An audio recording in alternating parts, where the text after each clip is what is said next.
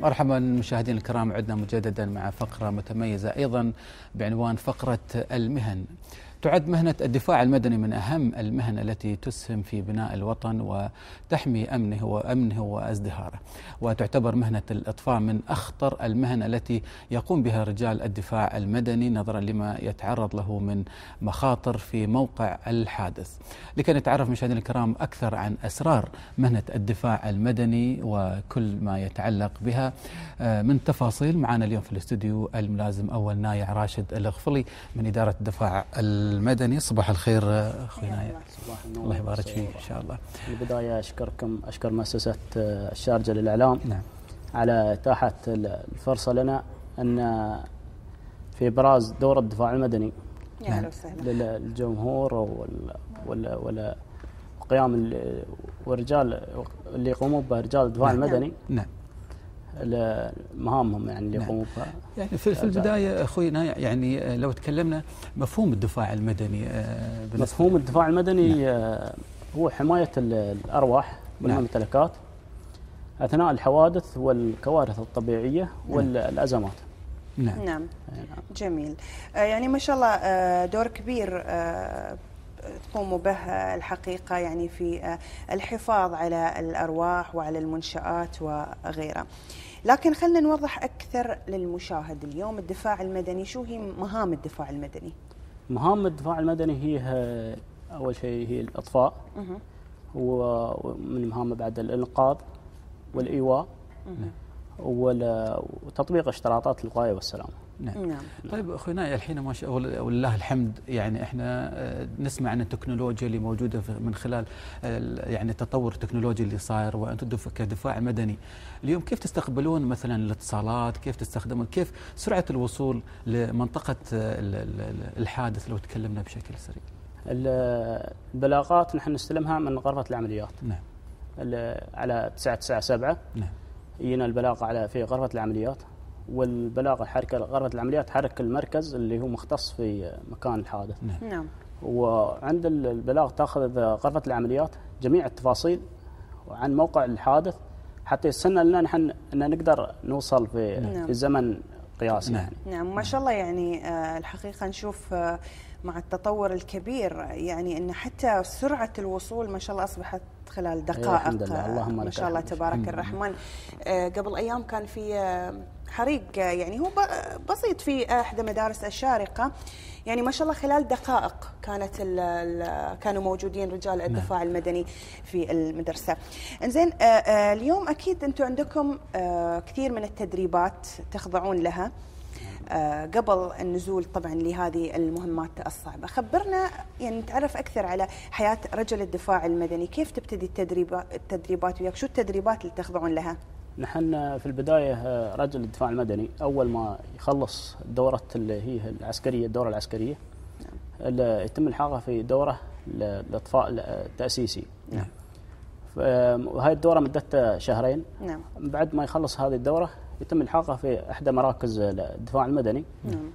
ويكون تحت إشراف الأطفائيين القدامى نعم. كهو نعم. رجل أطفائي جديد نعم. فيكون تحت إشراف نعم. الأطفائيين القدامى نعم. وحتى مباشرة في الحوادث ويكون تحت إشرافهم يعني نعم. يشتغلوا وياهم بس تحت إشرافهم يعني مثل ما نشوف الحين مثلا عندنا على الشاشة هذا تدريب ها؟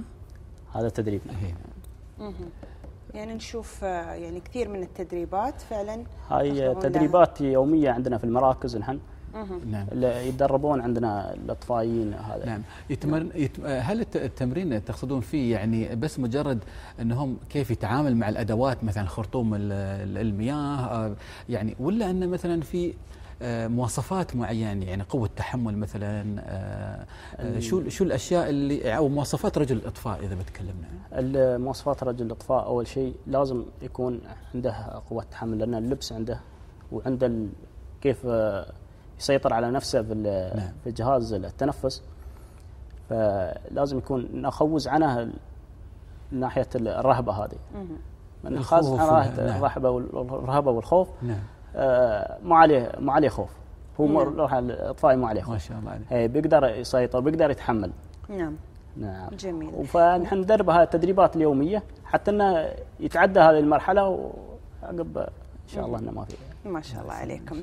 طيب اليوم آه هذه المهنة يمكن من آه المهن اللي فيها خطورة لأنكم اليوم تتعرضون مثل ما ذكرت ممكن آه مثل حريق ممكن آه كوارث طبيعية ممكن إنقاذ أشخاص من أماكن مثلا خطرة أو غيره. فبالتأكيد ممكن رجل الدفاع المدني يتعرض لبعض الإصابات. في حال تعرض لإصابة معينة كيف يكون التصرف وقتها وفيما بعد كيف تكون طريقة علاجه؟ وكيف التأمين على علاجه؟ آه، أول شيء الأخطار إحنا تواجهنا في في في الحوادث. الاخطار كثيرة تواجه الأطفائيين منها الاصول منها الانفجارات منها اللهب ومنها الحرارة منها السقوط. فيكون آه، ندارك هذا الموضوع. نحن عندنا الأطفائيين في مدربين على الإسعافات الأولية. نعم. ففي البداية وتكون عندنا بعد إسعاف الوطني موجود عندنا في الحوادث. نعم. متواجد عندنا نعم. الحمد لله. نعم.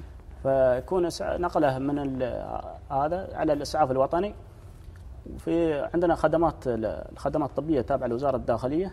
نعم. ويقدمون للعلاج أو في المستشفيات الحكومية. نعم. جميل. طيب آه يعني إذا تكلمنا عن حياة يعني الرجل الإطفائي حياته الشخصية يعني أنتم ما شاء الله عليكم إحنا نعرف كإجازات يعني من صعوبة تحصلون الإجازات لأن ما تعرفون العطلات نعم. يعني سبحان الله يعني إذا مثلا يمكن تطلع عندك مسوي بلان إنك بتطلع إجازة لكن سبحان الله طوارئ مثلا نعم. متواجدين آه تأثير آه يعني حياة الاطفاء على على أسرته يعني آه، كيف تتعاملون؟ كيف تنسقون؟ يعني ما شاء الله عليكم يعني. لا الحمد لله. آه، هذه طعمك خدمة أول شيء. نعم. وقبل الأسرة خدمة دولة. نعم.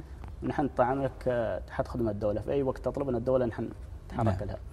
فالتنسيق يكون طبيعي عادي ما فيه نعم. أي هذا في ويا العائلة نعم. يعني. الحمد لله. متفاهمين الأسرة متفاهمين متفاهمين الأسرة عن حماية نعم صحيح نعم صحيح. طيب أنا بس أنا راودني شيء سؤال الحين. يعني رجال الاطفاء هل هناك يعني هم يعني رتب معينة هم اللي هذا ولا حتى الضباط ممكن حتى آه يعني الضباط يكونون مشرفين. مشرفين. إي نعم الضباط يكونون مشرفين.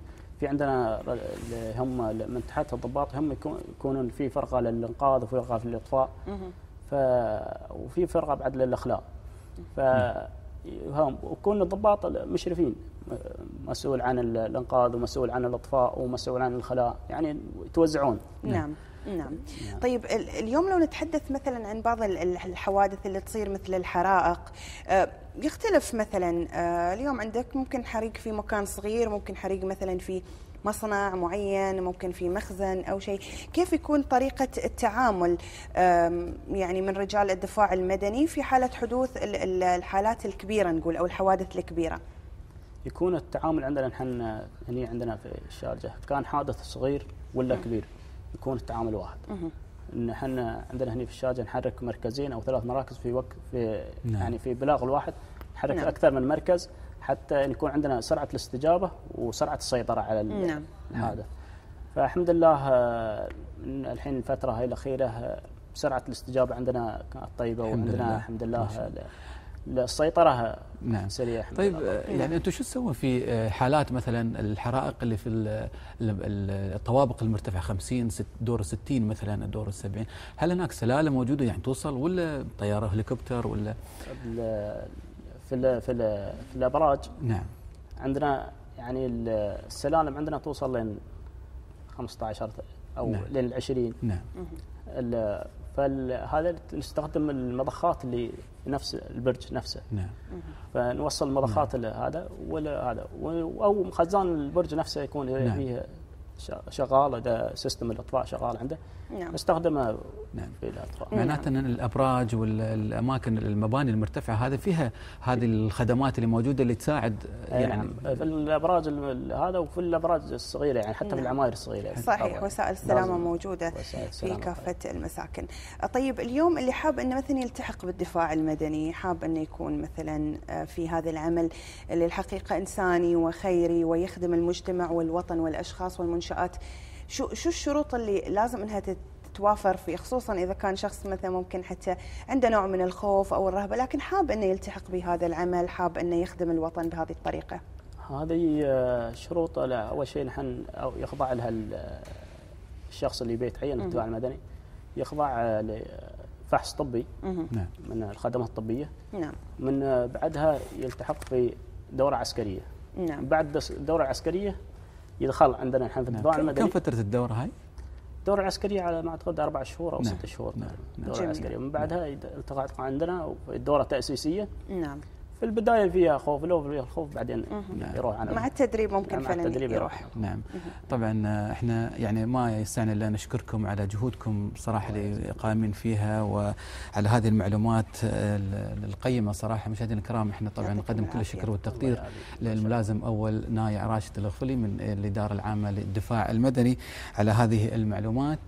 شكرا لك. العفو. الله